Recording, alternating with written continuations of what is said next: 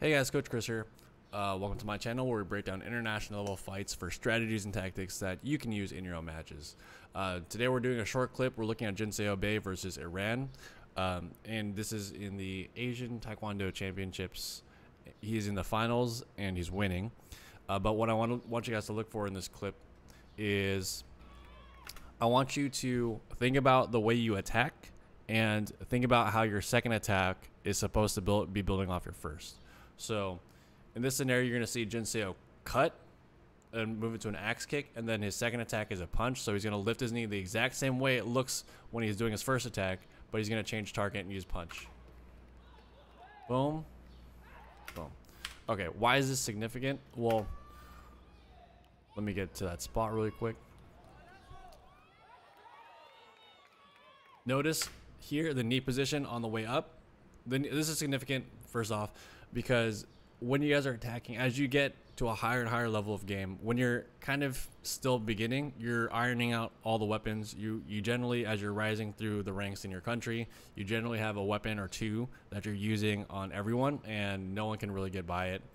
Um, and then in, in senior game, you're as you're getting older, more people have all the weapons. So you have four or five weapons you can use consistently. Your opponent has four or five weapons you can use consistently, and using your weapons in a sporadic manner, in a randomized manner, isn't going to get you points anymore because everyone's defense is super good.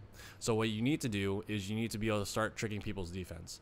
And so in this scenario, this is an example of that where you can see the, for, to raise your knee for an axe kick, your knee has to be you have to lift your knee straight and it comes up and it goes into the axe kick, right?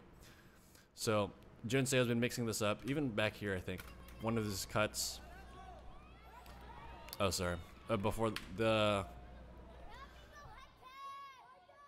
right here. So his cut, as you notice, it's not super sideways. It's pretty vertical. I think he does a cut right here. Oh, never mind. No, that's back to the other one. But his cuts generally are very vertical. And he does that specifically to mix in the axe kick whenever he wants. Like that. And then if he misses the axe kick, he can go straight for a body cut, which sometimes scores actually.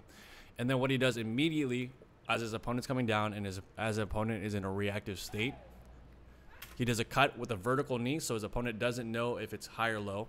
And generally, if your opponent just axe kicked at you and then did a body shot, you most people to defend the body shot will or to defend the headshot will lean backwards, and that keeps them planted. And so, knowing that that's going to happen, the adaptation is to raise your knee the exact same way. And if your opponent's going to be planted and you're covering distance, a good way to score is punch. So one more time, here, axe into a cut, the knee is vertical. It's very important to knee. He's doing this initial attack with a vertical knee. He does it one more time and then lands a punch.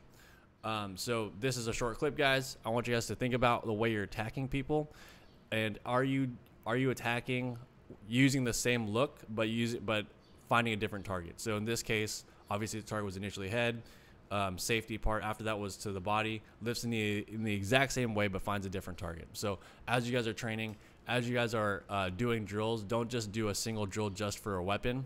Um, if you're a beginner, yeah, sure. But as you're growing your game, think about how you can use the same look, in this case, a vertical knee, to score points on other targets. Um, that's it for today, guys. Thanks for watching. And uh, please like, share, and subscribe. See you guys next time.